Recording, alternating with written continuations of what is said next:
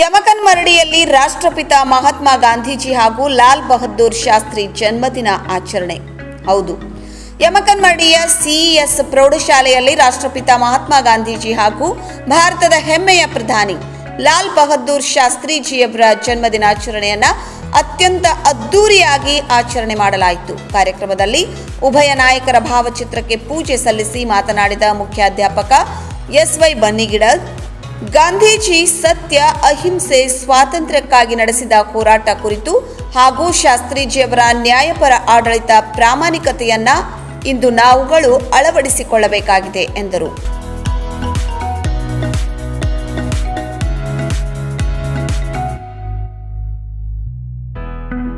ಗಾಂಧೀಜಿಯವರ ಅಚ್ಚುಮೆಚ್ಚಿನ ಭಜನೆಯನ್ನ ಕನ್ನಡ ಭಾಷಾ ಶಿಕ್ಷಕರಾದ ಸಿಎಂ ದರ್ಬಾರೆ ಅವರು ಹಾಡಿ ಮಕ್ಕಳಿಂದಲೂ ಹೇಳಿಸಿದ್ರು ಮಕ್ಕಳಿಂದ ಇಬ್ಬರು ಮಹಾನ್ ನಾಯಕರ ಕುರಿತು ಭಾಷಣ ಸ್ಪರ್ಧೆ ಏರ್ಪಡಿಸಲಾಗಿತ್ತು.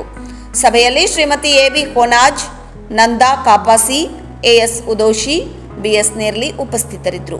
ಎಸ್ ಬಿ ನಾಯಕ್ ಸರ್ವರನ್ನು ಸ್ವಾಗತಿಸಿದ್ರು. ಶ್ರೀಮತಿ ಕೆ ಎ ಮಾದರ್, ಸಹಶಿಕ್ಷಕಿ, ಕಾರ್ಯಕ್ರಮ ನಿರೂಪಿಸಿದ್ರು. ನಂತರ ಮಕ್ಕಳು ಹಾಗೂ ಶಿಕ್ಷಕರಿಂದ ಸ್ವಚ್ಛತಾ ಕಾರ್ಯಕ್ರಮ ಜರುಗಿತು.